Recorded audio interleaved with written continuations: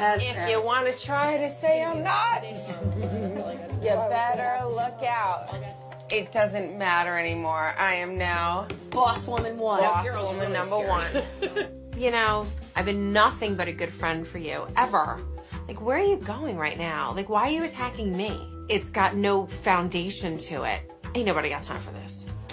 You're pissed off at me because I called you bossy in the woods today. I'm not pissed off at you, Kristen. You are clearly. You're, mad at me because I called you bossy and you can't I'm own up to it. Why can't you just own up to the fact that you're bossy? You're bossy at work. You know, you're the boss at home.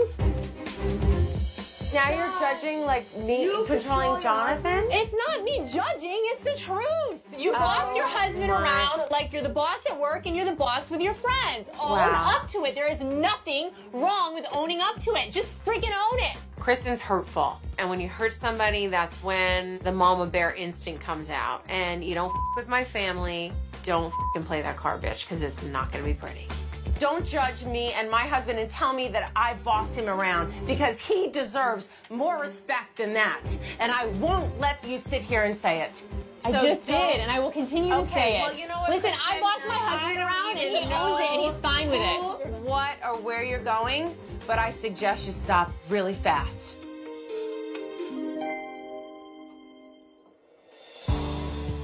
I think it's insulting to talk about someone else's marriage and to I'm say, not, yes, Carole. Kristen. I'm not saying there's You're anything saying wrong with her marriage. I'm saying that she's a really not- strong woman and she Okay. likes to control And we all she has situations. a great marriage, a great relationship. I'm not, not, there's nothing wrong with their with marriage. Just own up to the Oh, fact that she's a very strong woman. I don't think it's a good idea to judge anyone else's marriage to begin with. So she was getting herself in hot water there at dinner.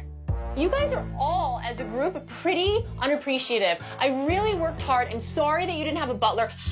And you know what it's like? I'm sorry, but okay, fine, I host. I'm not gonna wipe your butt the don't whole trip. wipe my butt. I mean, you can do that on your own. Let's be clear. And if you need a butler, you got your butler. Here we are. There he is.